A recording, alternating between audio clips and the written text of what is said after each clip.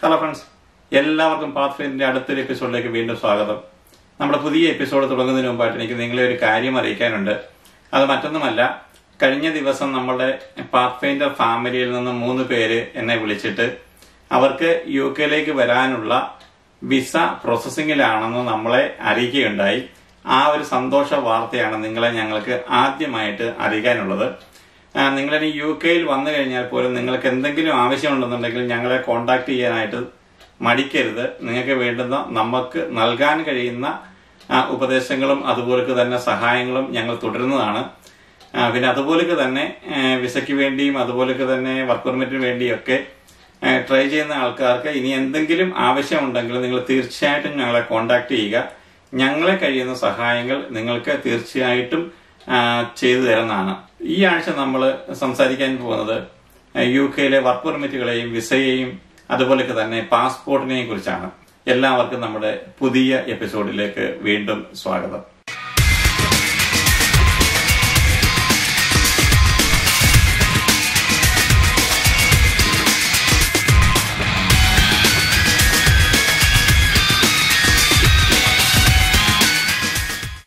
U കെയിലെ work പെർമിറ്റുകളെ കുറിച്ച് പറയുകയാണെങ്കിൽ പൊതുവായിട്ട് അഞ്ച് തരത്തിലാണ് തരം തിരിച്ചിരിക്കുന്നത്. Tier one tier two tier three tier four and tier five. Tier one എന്ന് പറഞ്ഞു കഴിഞ്ഞാൽ ഹൈലി സ്കിൽഡ് കാറ്റഗറിയാണ്. ടയർ ടു എന്ന് പറഞ്ഞു കഴിഞ്ഞാൽ സ്കിൽഡ് എംപ്ലോയീസിന് കൊടുക്കുന്ന കാറ്റഗറിയാണ് ടയർ ടു. ടയർ ത്രീ നിലവിൽ ഇംപ്ലിമെന്റ് ചെയ്തിട്ടില്ല. ടയർ ഫോർ എന്ന് പറഞ്ഞു കഴിഞ്ഞാൽ സ്റ്റുഡന്റ് വിസയ്ക്ക് കൊടുക്കുന്ന സ്റ്റുഡന്റ് വർക്ക് പെർമിറ്റ് ആണ് ടയർ ഫോർ. അതുപോലെ ടയർ ഫൈവ് എന്ന് പറഞ്ഞു കഴിഞ്ഞാൽ ടെമ്പററി മൈഗ്രൻസിന് വേണ്ടിയുള്ള വർക്ക് പെർമിറ്റ് ആണ് ടയർ ഫൈവ്. അപ്പൊ നമുക്ക് ഈ ടയർ വണ്ണിനെ കുറിച്ച് നോക്കാം. ടയർ വണ്ണ് ഞാൻ നേരത്തെ പറഞ്ഞതുപോലെ തന്നെ ഹൈലി സ്കിൽഡ് എംപ്ലോയീസിന് വേണ്ടിയുള്ള വർക്ക് പെർമിറ്റ് ആണ് ഈ വർക്ക് പെർമിറ്റ് ടൂ തൗസൻഡ് ഇലവനിൽ യു കെ ഗവൺമെന്റ് അത് നിർത്തലാക്കി.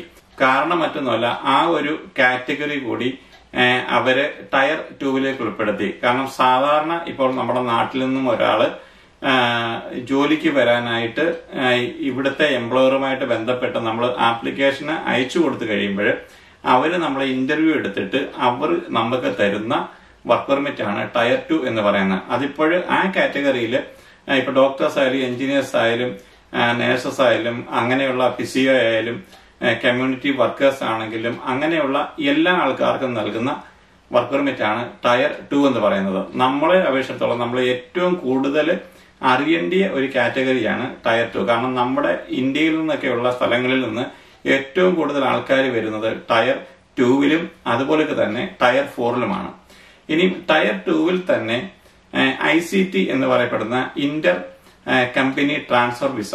അതും നമ്മുടെ ടയർ ടൂവിലാണ് ഉൾപ്പെടുത്തിയിരിക്കുന്നത്. മൾട്ടിനാഷണൽ കമ്പനികളൊക്കെ അവരുടെ എംപ്ലോയീസിനെ ഇവിടെ കൊണ്ട് ഇവിടേക്ക് ട്രാൻസ്ഫർ ചെയ്യാനായിട്ട് അവരുപയോഗിക്കുന്ന ഒരു വിസയാണ് I C T. Tier three work permit എന്ന് വെച്ച് കഴിഞ്ഞാൽ ലോവർ ക്വാളിഫൈഡ് ലേബേഴ്സിനെയൊക്കെ യു കെയിലേക്ക് കൊണ്ടുവരാനായിട്ട് ഉപയോഗിച്ചിരുന്ന ഒരു വർക്ക് പെർമിറ്റ് ആയിരുന്നു ഈ ടയർ ത്രീ എന്ന് പറയുന്നത്. അത് ഷോർട്ടേജിന് അനുസരിച്ചായിരുന്നു അവർ ആൾക്കാരെ കൊണ്ടുവന്നിരുന്നത്. ഇപ്പൊ ഒരു ആറ് മാസം അല്ലെങ്കിൽ ഒരു വൺ ഇയറിലേക്കൊക്കെ ഇവിടുത്തെ ലേബർ വർക്ക് ചെയ്യാനായിട്ട് അത്യാവശ്യം അവർ ആൾക്കാരെ വിളനാട്ടിൽ നിന്നൊക്കെ റിക്രൂട്ട് ചെയ്തിരുന്ന ഒരു വർക്ക് പെർമിറ്റ് ആയിരുന്നു ടയർ ത്രീ എന്ന് പറയുന്നത്. എന്നാൽ കഴിഞ്ഞ കുറെ കാലങ്ങളായിട്ട് ആ ഒരു ടയർ ത്രീ എന്നുള്ളത് അവർ നിർത്തിവെച്ചിരിക്കുകയാണ് കാരണം അങ്ങനെയുള്ള അൺക്വാളിഫൈഡ് ആൾക്കാരെ അവർക്കിപ്പോൾ വേണ്ട. കാരണം ഇവിടെ ധാരാളം ആൾക്കാർ വന്നതുകൊണ്ട് അതുകൊണ്ട് അവർ ടയർ ത്രീ വർക്ക് പെർമിറ്റുകൾ തൽക്കാലം അവർ നിർത്തിവെച്ചിരിക്കുകയാണ്. ഇനി അടുത്തായിട്ട് പറയുന്നത് നമ്മൾ സ്റ്റുഡന്റ് വർക്ക് പെർമിറ്റ് അതായത് ടയർ ഫോർ നമ്മുടെ നാട്ടിൽ നിന്നും ഇന്ത്യയിൽ നിന്നും അതുപോലെയുള്ള നമ്മുടെ ഏഷ്യൻ രാജ്യങ്ങളിൽ നിന്നും എല്ലാം തന്നെ സ്റ്റുഡൻസ് പഠിക്കാനായിട്ട് ഈ നാട്ടിലേക്ക് വരുമ്പോൾ അവർ ഉപയോഗിക്കുന്ന അല്ലെങ്കിൽ അവർക്ക് കിട്ടുന്ന വർക്ക് പെർമിറ്റ് ആണ് ടയർ ഫോർ ടയർ ഫൈവ് എന്ന് പറഞ്ഞു കഴിഞ്ഞാൽ ഇങ്ങനെയുള്ള വർക്ക് പെർമിറ്റിൽ വരുന്ന ആൾക്കാര് റിസർച്ചിനും സ്കോളർഷിപ്പിനും അതുപോലൊക്കെ ട്രെയിനിങ്ങിനും ഒക്കെ വരുന്ന ആൾക്കാരാണ് കൂടുതലായിട്ടും ടയർ ഫൈവ് വർക്ക് പെർമിറ്റിൽ വരുന്നത്. അതൊരു ടെമ്പററി പോസ്റ്റ് ഒരു ടെമ്പററി ഒരു നിശ്ചിത ഒരു ടൈമിലേക്ക് മാത്രമായിരിക്കും ഈ ആൾക്കാർ വരുന്നത്. കാരണം അവരുടെ റിസർച്ചോ അല്ലെങ്കിൽ സ്കോളർഷിപ്പോ അല്ലെങ്കിൽ അതുപോലെയുള്ള കാര്യങ്ങൾ ചെയ്യാനായിട്ട് നമ്മുടെ നാട്ടിൽ നിന്നൊക്കെ വരുമ്പോൾ ഗവൺമെന്റിന്റെ അണ്ടറിൽ വരുന്ന ആൾക്കാർ ഒരു ടെമ്പററി ടൈമിലേക്ക് എടുക്കുന്ന ഒരു വർക്ക് പെർമിറ്റ് ആണ്.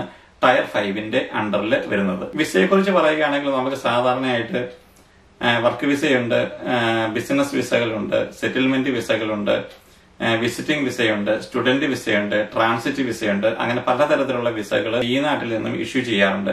അപ്പൊ നമ്മൾ ടയർ ഫോറിൽ അല്ലെങ്കിൽ ടയർ ടൂവിൽ നമുക്കിപ്പോൾ ഒരു വർക്ക് പെർമിറ്റ് കിട്ടിക്കഴിഞ്ഞാൽ അതിന്റെ അനുബന്ധിത ഡോക്യുമെന്റുകളുമായിട്ട് നമ്മൾ എംബസിയിൽ കൊണ്ട് സബ്മിറ്റ് ചെയ്ത് കഴിഞ്ഞാൽ നമുക്ക് പാസ്പോർട്ടിനുള്ളിൽ അവർ ടയർ ടു ആണെങ്കിൽ വർക്ക് വിസയായിട്ടും അതുപോലെ തന്നെ ടയർ ഫോറിലാണ് നമ്മൾ സ്റ്റുഡന്റ് ആയിട്ടാണ് വരുന്നതെങ്കിൽ നമുക്ക് സ്റ്റുഡന്റ് വിസയായിട്ട് നമുക്ക് അവരെ അടിച്ച് നമ്മുടെ പാസ്പോർട്ടിൽ വിസയായിട്ട് നമുക്ക് തരും. നമുക്ക് ഈസി ആയിട്ട് കയറി പോരാം പിന്നെ അതുപോലെ തന്നെ നമ്മൾ വിസിറ്റിംഗ് വിസയിലാണ് നമ്മൾ അപ്ലൈ ചെയ്തെങ്കിൽ അതിന് വേണ്ടുന്ന എല്ലാ ഡോക്യുമെന്റ്സുകളും നമ്മുടെ ഇവിടേക്ക് വരാനുള്ള കാര്യങ്ങൾ അല്ലെങ്കിൽ ഇവിടെ വന്നു കഴിഞ്ഞാൽ നമുക്ക് താമസമുള്ള സൗകര്യങ്ങൾ ഈ പറയുന്ന ഡോക്യുമെന്റ്സുകളെല്ലാം സബ്മിറ്റ് ചെയ്ത് കഴിഞ്ഞാൽ നമുക്ക് സിക്സ് മന്തിലേക്ക് അവർ വിസിറ്റിംഗ് വിസ അടിച്ചു തരും അതുപോലെ തന്നെ ഡിപ്പെൻഡന്റ് വിസ ആണെന്നുണ്ടെങ്കിൽ നമുക്ക് ആരുടെ ഡിപ്പെൻഡ് ആയിട്ടാണോ നമ്മൾ വരുന്നത്? അവരുടെ ഡോക്യുമെന്റുകൾ ഇപ്പൊ ഇപ്പൊ ഇവിടെ നിൽക്കുന്ന ഒരാളാണ് അല്ലെങ്കിൽ ഒരു ഹസ്ബൻഡ് ഒരു വൈഫ് ഇവിടെ ഉണ്ടെന്നുണ്ടെങ്കിൽ ഇപ്പൊ ആണ് ഇവിടെ ഉണ്ടെങ്കിൽ അവരവരുടെ മൂന്ന് മാസം സാലറി സ്ലിപ്പ് അതുപോലെ തന്നെ ഇവിടുത്തെ താമസത്തിനുള്ള ഉള്ള സൗകര്യങ്ങളുടെ ഡോക്യുമെന്റ്സ് അയച്ചു കൊടുത്തു കഴിഞ്ഞാൽ നിങ്ങൾക്ക് മൂന്ന് മാസം കഴിയുമ്പോൾ ഡിപ്പെൻഡ് വിസയിൽ ഇങ്ങോട്ട് കയറിപ്പോരാൻ സാധിക്കും. പിന്നെ ഞാൻ നേരത്തെ പറഞ്ഞതുപോലെ തന്നെ ഇപ്പം നേഴ്സസ് ഒക്കെ വരുന്ന ഒരു സാഹചര്യം ആയതുകൊണ്ട് അവർക്ക് പുതുതായിട്ടൊരു നിയമം കൊണ്ടുവന്നിരിക്കുന്ന നേഴ്സസിന് അവരുടെ ഡിപ്പെൻഡിനെ കൂടെ കൊണ്ടുവരാം എന്നുള്ള ഒരു ഓപ്പർച്യൂണിറ്റി പ്ലസ് ആയിട്ടുണ്ട്. ഇപ്പൊ സാധാരണ ആൾക്കാർ മറ്റുള്ള ഫീൽഡിൽ വരുന്ന ആൾക്കാരാണെങ്കിൽ അവർക്ക് മൂന്ന് മാസം ഇല്ലെങ്കിൽ ആറ് മാസം കഴിയുമ്പോൾ അവരുടെ ഡിപ്പെൻഡിനെ കൊണ്ടുവരാൻ പറ്റും. അപ്പൊ ഈ ഡോക്യുമെന്റ്സുകളെല്ലാം കൂടെ നമ്മൾ അയച്ചു കൊടുത്തു കഴിഞ്ഞാൽ നമ്മൾ ഡിപ്പെൻഡ് വിസയ്ക്ക് നമ്മൾ എംബസിയിൽ അപ്ലൈ ചെയ്ത് കഴിഞ്ഞാൽ നമുക്ക് പാസ്പോർട്ടിൽ ഡിപ്പെൻഡ് വിസ ആയിട്ടായിരിക്കും അടിച്ചു തരുന്നത് അങ്ങനെ പലതരത്തിലുള്ള വിസകളാണ് യു കെയിൽ നിന്നും ഇഷ്യൂ ചെയ്യുന്നത്. ഇപ്പോൾ ടയർ ടു വർക്ക് പെർമിറ്റ് നമ്മൾ കിട്ടിക്കഴിഞ്ഞാൽ നമ്മൾ എംബസിയിൽ കൊണ്ട് കൊടുത്തു കഴിഞ്ഞാൽ അതിന്റെ കൂടെ നമ്മൾ ഇന്ത്യൻ പാസ്പോർട്ട് കൂടി സബ്മിറ്റ് ചെയ്യുന്നു. സബ്മിറ്റ് ചെയ്ത് കഴിഞ്ഞാൽ അവർ ഒരു നിശ്ചിത സമയത്തിനുള്ളിൽ തന്നെ നമുക്ക് പാസ്പോർട്ടിനുള്ളിൽ നമ്മൾ വർക്ക് വിസ ഇത് ഇത്ര വർഷമാണ് രണ്ട് വർഷമാണ് അല്ലെങ്കിൽ മൂന്ന് വർഷമാണെന്ന് അതിന്റെ ഒരു കാലാവധി വെച്ചുകൊണ്ട് നമുക്ക് വിസ അടിച്ചു തരും. നമ്മളപ്പോൾ ഈ വർക്ക് വിസയിൽ നമ്മൾ യു കെയിലേക്ക് കയറി വരിക. കയറി വന്നു കഴിഞ്ഞാൽ ഞാൻ നേരത്തെ പോലെ പറഞ്ഞതുപോലെ തന്നെ നമ്മൾ അഞ്ചു വർഷം ഒരു ഒരു വർക്ക് പെർമിറ്റിൽ നമ്മൾ ഇവിടെ നിന്ന് കഴിഞ്ഞാൽ പിന്നെ ഈ അഞ്ച് വർഷം കഴിഞ്ഞു കഴിയുമ്പോൾ നമ്മൾക്ക് സെറ്റിൽമെന്റ് വിസയ്ക്ക് നമുക്ക് അപ്ലൈ ചെയ്യാവുന്നതാണ്. പി ആറിന് നമ്മൾ അപ്ലൈ ചെയ്യേണ്ടത് അഞ്ചു വർഷങ്ങൾക്ക് ശേഷമാണ് ഈ അഞ്ചു വർഷം നമ്മൾ ഇവിടെ കേസുകളിലോ അല്ലെങ്കിൽ അങ്ങനെയുള്ള പ്രശ്നങ്ങളിലോ ഒന്നും പെടാതിരിക്കുക. നമ്മൾ നല്ല രീതിയിൽ പോകുന്ന ഒരാളാണെന്നുണ്ടെങ്കിൽ അഞ്ചു വർഷം നമ്മൾ വർക്ക് പെർമിറ്റിൽ പോയി കഴിഞ്ഞാൽ നമുക്ക് അഞ്ചാമത്തെ വർഷം കഴിയുമ്പോൾ നമുക്ക് പി ആറിന് വേണ്ടി അപ്ലൈ ചെയ്യാവുന്നതാണ്.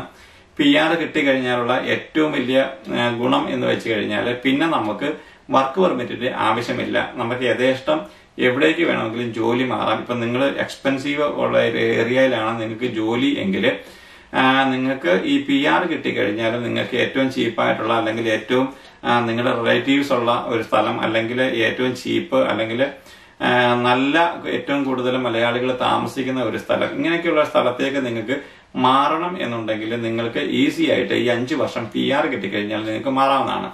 ഈ പി ആർ കിട്ടിക്കഴിഞ്ഞാൽ നിങ്ങൾക്ക് ഒരു വർഷത്തിന് ശേഷം നിങ്ങൾക്ക് നാച്ചുറലൈസേഷന് അതായത് ബ്രിട്ടീഷ് സിറ്റിസൺഷിപ്പിന് നിങ്ങൾക്ക് അപ്ലൈ ചെയ്യാവുന്നതാണ്.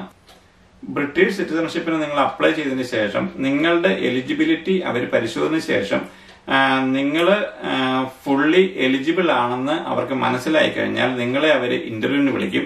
നിങ്ങളെ ഇന്റർവ്യൂ വിളിച്ചു കഴിഞ്ഞാൽ അതൊരു ചെറിയ ഇന്റർവ്യൂ ആണ്. ആ ചെറിയ ഇന്റർവ്യൂവിന് നമ്മൾ പോവുക. പോയി കഴിഞ്ഞാൽ അവർ കാര്യങ്ങളൊക്കെ ചോദിച്ച് നമ്മുടെ പാസ്പോർട്ട് അത് ഇത്ര നാളുള്ള കാര്യങ്ങളും നമ്മുടെ സെറ്റിൽമെന്റ് വിസയും പി ആർ ഇതൊക്കെ നോക്കിക്കഴിഞ്ഞാൽ അവർ നിങ്ങൾക്ക് ഇപ്പൊ നിങ്ങൾക്ക് നാച്ചുറലൈസേഷൻ നിങ്ങൾക്ക് ബ്രിട്ടീഷ് സിറ്റിസൺ ആവുന്നതിനുള്ള ഒരു ഓത്ത് ഉണ്ട്. ആ ഓത്തിനേക്ക് നമ്മൾ നമ്മളെ വിളിക്കും. അങ്ങനെ ഇവിടെ നമ്മൾ പോയി കഴിഞ്ഞാൽ ആ ഓത്തിന്റെ ഡേറ്റ് നമുക്ക് കിട്ടിക്കഴിഞ്ഞാൽ ആ ഡേറ്റിൽ നമ്മൾ പോവുക. കാരണം നമ്മൾ ഒരു ഇന്ത്യൻ സിറ്റിസൺ ഒരു മറ്റൊരു സിറ്റിസൺ ആകാൻ പോവുകയാണ്. അപ്പോൾ ഇന്ത്യൻ സിറ്റിസൺഷിപ്പിൽ നിന്നും ബ്രിട്ടീഷ് സിറ്റിസൺഷിപ്പിലേക്ക് മാറുന്നതിനുള്ള ഒരു ഓത്താണത്. അപ്പൊ ആ ഒരു ഓത്ത് എടുക്കുന്നതിന് നമുക്കൊരു അപ്പോയിന്റ്മെന്റ് തരും. ആ അപ്പോയിന്റ്മെന്റിന്റെ ഡേറ്റിൽ നമ്മൾ അവിടെ പോയി നമ്മൾ ആ ഓത്ത് എടുക്കുക. ഇപ്പൊ നിങ്ങൾ എത്ര പേരാണോ നിങ്ങൾ സിറ്റിസൺ ആകുന്നത്? ഇപ്പം നിങ്ങൾ അഞ്ചു പേർക്കാണ് നിങ്ങൾക്ക് ഒരു ഫാമിലിയിൽ പി ആർ ആയെങ്കിൽ നിങ്ങൾക്ക് മൂന്ന് പേർക്ക് സിറ്റിസൺ ആയാൽ മതിയെങ്കിൽ നിങ്ങൾ ആ മൂന്ന് പേര് മാത്രം അപ്ലൈ ചെയ്താൽ മതിയാകും. ബാക്കി രണ്ടു പേർക്ക് ആവണ്ട എന്നുണ്ടെങ്കിൽ നമുക്ക് ആവണ്ട. നമുക്ക് ഇന്ത്യൻ സിറ്റിസൺ ആയിട്ട് കണ്ടിന്യൂ ചെയ്യാം. ആ ബാക്കി മൂന്ന് പേർക്ക് ബ്രിട്ടീഷ് സിറ്റിസൺ ആവണം എന്നുണ്ടെങ്കിൽ നിങ്ങൾക്ക് ആ മൂന്ന് പേർക്ക് മാത്രം അപ്ലൈ ചെയ്തുകൊണ്ട് ആ മൂന്ന് പേര് മാത്രം പോയി ഓത്ത് എടുത്തുകൊണ്ട് നിങ്ങൾക്ക് ബ്രിട്ടീഷ് സിറ്റിസൺ ആകാവുന്നതാണ്. അപ്പോൾ ബ്രിട്ടീഷ് സിറ്റിസൺ ആയി കഴിഞ്ഞാൽ നമുക്ക് നമ്മുടെ ഇന്ത്യൻ പാസ്പോർട്ടിന് പകരമായിട്ട് നമുക്ക് ബ്രിട്ടീഷ് പാസ്പോർട്ട് ലഭിക്കും. ഈ ബ്രിട്ടീഷ് പാസ്പോർട്ട് കിട്ടിക്കഴിഞ്ഞാലുള്ള ഒരു കാര്യം എന്ന് വെച്ച് കഴിഞ്ഞാൽ നമ്മളൊരു ബ്രിട്ടീഷ് സിറ്റിസൺ ആയി. അപ്പൊ നമ്മുടെ രാജ്യം മൾട്ടി സിറ്റിസൺഷിപ്പ് അനുവദിക്കാത്തത് കൊണ്ട് നമ്മൾ ഇന്ത്യൻ നമ്മുടെ ഇന്ത്യൻ പാസ്പോർട്ട് നമ്മൾ സറണ്ടർ ചെയ്യണം. അതിനായിട്ട് നമ്മൾ ഇവിടുത്തെ ഇന്ത്യൻ ഹൈക്കമ്മീഷനിൽ പോയി കഴിഞ്ഞാൽ നമുക്ക് ഇന്ത്യൻ പാസ്പോർട്ട് സറണ്ടർ ചെയ്യാവുന്നതാണ്. അപ്പൊ ആ സറണ്ടർ ചെയ്യാതെ നമ്മളത് വെച്ച് കഴിഞ്ഞാൽ നമുക്ക് അത് ഒരു കുറ്റമായിട്ട് മാറാ മാറാവുന്നതാണ്. അതുകൊണ്ട് നിങ്ങൾ ചെയ്യേണ്ടതെന്ന് വെച്ച് കഴിഞ്ഞാൽ നിങ്ങൾ ബ്രിട്ടീഷ് സിറ്റിസണായി ഓൾറെഡി മാറി നിങ്ങൾക്ക് സിറ്റിസൺഷിപ്പ് കിട്ടി.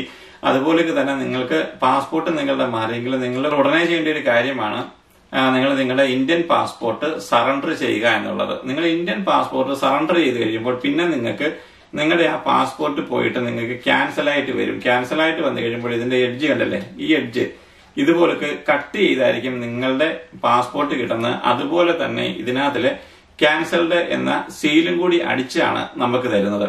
അപ്പൊ പിന്നെ ഈ പാസ്പോർട്ട് വാലിഡ് ആയിരിക്കത്തില്ല. കാരണം നമ്മൾ ഓൾറെഡി നമ്മൾ ബ്രിട്ടീഷ് സിറ്റിസൺ ആയി. അതുകൊണ്ട് ഈ പാസ്പോർട്ട് നമുക്ക് വാലിഡ് അല്ലാത്തത് കൊണ്ട് നമുക്ക് ഇന്ത്യയിലേക്ക് പോകണം എന്നുണ്ടെങ്കിൽ നമ്മൾ ഈ തരത്തിലുള്ള ഒരു ഒ സി ഐ ടിക്കറ്റ് എന്നാണ് പറയുന്നത്. ഓവർസീസ് സിറ്റിസൺസ് ഓഫ് ഇന്ത്യ ഈ ഓവർസീസ് സിറ്റിസൺ ഓഫ് ഇന്ത്യ എന്ന് പറയുന്ന ഈ ഒ സി ഐ കാർഡ് നമ്മൾ എടുക്കേണ്ടത് അത്യാവശ്യമാണ്. ഇതിന് നമ്മൾ ആപ്ലിക്കേഷൻ കൊടുക്കണം. ആപ്ലിക്കേഷൻ കൊടുത്ത് ഇതിനെല്ലാം ഒരു ഫീസ് ഉണ്ട്. ആ ഫീസെല്ലാം നമ്മൾ കൊടുക്കേണ്ടി വരും. കാരണം ഒരു പി ആർ അടിക്കുക അല്ലെങ്കിൽ ഒരു ബ്രിട്ടീഷ് സിറ്റിസൺ ആകുക എന്ന് പറയുന്നത് അത്ര നിസ്സാരമുള്ള കാര്യമല്ല. കാരണം അതിനൊക്കെ ഇപ്പൊ നല്ല നല്ല ഒരു എമൗണ്ട് നമ്മൾ സ്പെൻഡ് ചെയ്ത് കഴിഞ്ഞാൽ മാത്രമേ ഉള്ളൂ നമുക്ക് ഇതെല്ലാം ലഭിക്കുന്നത്. വൺസ് നിങ്ങൾക്ക് ഇതെല്ലാം കിട്ടിക്കഴിഞ്ഞാൽ പിന്നെ നിങ്ങൾക്ക് പേടിക്കേണ്ട കാര്യമില്ല. നിങ്ങൾ നാട്ടിൽ നമ്മൾ എങ്ങനെ താമസിച്ചോ അതുപോലെ തന്നെ ഫ്രീഡത്തോടു കൂടി നമുക്ക് ഇവിടെ താമസിക്കാവുന്നതാണ്. ആരും ഒരു കാര്യമെങ്കിലും നമ്മൾ ആവശ്യമില്ലാത്ത ഒരു കാര്യത്തിൽ നമ്മളിപ്പോൾ ഇടപെടാതിരുന്ന് കഴിഞ്ഞാൽ നമുക്ക് യാതൊരു പ്രശ്നങ്ങളുമില്ല അപ്പൊ നിങ്ങൾ അടുത്തായിട്ട് അവസാനമായിട്ട് ചെയ്യേണ്ട ഒരു കാര്യമാണ് ഒ സി ഐ കാർഡ് എടുക്കുക എന്നുള്ളത്. കാരണം ഈ ഒ സി ഐ കാർഡ് എടുക്കാതെ നമുക്ക് ബ്രിട്ടീഷ് സിറ്റിസൺ ആയ ഒരാൾക്ക് നാട്ടിലേക്ക് പോകാനായിട്ട് സാധിക്കത്തില്ല. ഇത് ഞാൻ പറഞ്ഞതെന്ന് വെച്ച് കഴിഞ്ഞാൽ ഇവിടുത്തെ വർക്ക് പെർമിറ്റിനെയും വിസയെയും പാസ്പോർട്ടിനെയും കുറിച്ചൊക്കെ പറഞ്ഞുകൊണ്ട് മാത്രം ഞാൻ പറഞ്ഞതാണ്. അപ്പൊ നിങ്ങൾ വിചാരിക്കും ഇതൊക്കെ ഒരു വലിയ കാര്യം ഇതൊക്കെ എന്ന് നടക്കാൻ പോകുന്ന ഒരു കാര്യമാണെന്ന് ചോദിച്ചു കഴിഞ്ഞാൽ ശരിയാണ്. ഇതൊക്കെ നടക്കണമെന്നുണ്ടെങ്കിൽ നിങ്ങൾ ഇവിടെ വന്നു കഴിഞ്ഞ് അഞ്ചു വർഷം കഴിഞ്ഞാൽ മാത്രമേ നടക്കത്തുള്ളൂ. പക്ഷെങ്കിൽ ഞാൻ ഇവിടുത്തെ വർക്ക് പെർമിറ്റിനെ കുറിച്ചും വിസയെ കുറിച്ചും പാസ്പോർട്ടിനെ കുറിച്ചും പറഞ്ഞതുകൊണ്ട് മാത്രമാണ് ഞാൻ ഇത്രയും കാര്യങ്ങൾ പറഞ്ഞത്. എന്നിരുന്നാലും നിങ്ങൾക്ക് ഇതെല്ലാം നിങ്ങൾക്ക് മനസ്സിലായി കാണും എന്ന് വിചാരിക്കുന്നു. കാരണം നിങ്ങളുടെയൊക്കെ ഒരു അറിവിലേക്കാണ് ഞാനിത് പറഞ്ഞത്. ഇതാണ് നമ്മുടെ ഇന്ത്യൻ പാസ്പോർട്ട് ബ്രിട്ടീഷ് പാസ്പോർട്ട് അതുപോലെ തന്നെ ഒ സി ഐ കാർഡ്. ഈ മൂന്ന് കാര്യങ്ങളാണ് നമ്മൾ ഇവിടെ വരുമ്പോൾ ചേഞ്ച് ആവുന്നത്. ഇന്ത്യൻ പാസ്പോർട്ടിൽ വന്നു കഴിഞ്ഞാൽ അഞ്ച് വർഷം കഴിയുമ്പോൾ നമുക്ക് ബ്രിട്ടീഷ് പാസ്പോർട്ട് കിട്ടും. ബ്രിട്ടീഷ് പാസ്പോർട്ട് കിട്ടിക്കഴിഞ്ഞാൽ നമുക്ക് ഒ സി കാർഡ് എടുക്കേണ്ടി വരും. അങ്ങനെ ഈ മൂന്ന് മാറ്റങ്ങളാണ് നമ്മൾ ഇവിടെ വന്നു കഴിഞ്ഞാൽ നമുക്ക് ഉണ്ടാകുന്നത്. അത് മാത്രമാണ് ഞാൻ കാണിച്ചത്. നിങ്ങൾക്ക് ഈ വീഡിയോയിൽ എന്തെങ്കിലും സംശയങ്ങളോ കാര്യങ്ങളോ ഒക്കെ ഉണ്ടെങ്കിൽ ഞാൻ എന്നും പറഞ്ഞതുപോലെ നിങ്ങൾ കമന്റ് ചെയ്യുക. നിങ്ങൾക്ക് വീഡിയോ ഇഷ്ടപ്പെട്ടിട്ടുണ്ടെങ്കിൽ നിങ്ങൾ തീർച്ചയായിട്ടും നിങ്ങൾ മറ്റുള്ള ആൾക്കാരിലേക്ക് നിങ്ങൾ ഷെയർ ചെയ്യുക. ഞാൻ എന്നും പറയുന്ന പോലെ നിങ്ങൾ ആദ്യമായിട്ടാണ് നമ്മുടെ ചാനലിൽ കാണുന്നതെങ്കിൽ നിങ്ങൾ തീർച്ചയായിട്ടും നമ്മുടെ താഴെ കാണുന്ന ആ ചുവന്ന സബ്സ്ക്രൈബ് ബട്ടൺ ക്ലിക്ക് ചെയ്ത് സബ്സ്ക്രൈബ് ചെയ്യുക. അതുപോലെ തന്നെ അടുത്ത് കാണുന്ന ആ കുഞ്ഞ് ബെല്ലൈക്കണും കൂടി ഒന്ന് ക്ലിക്ക് ചെയ്ത് കഴിഞ്ഞാൽ ഇതുപോലെയുള്ള വീഡിയോകൾ അപ്ലോഡ് ചെയ്യുമ്പോൾ നിങ്ങൾക്ക് നിങ്ങളുടെ മൊബൈലിൽ നോട്ടിഫിക്കേഷൻ ആയിട്ട് ലഭിക്കുന്നതാണ്. അടുത്ത ആഴ്ച നമ്മൾ ഇതുപോലൊക്കെ തന്നെ വ്യത്യസ്തമായ ഒരു വീഡിയോയുമായി നിങ്ങളുടെ മുമ്പിൽ വരുന്നവരെ എല്ലാവർക്കും നന്ദി നമസ്കാരം.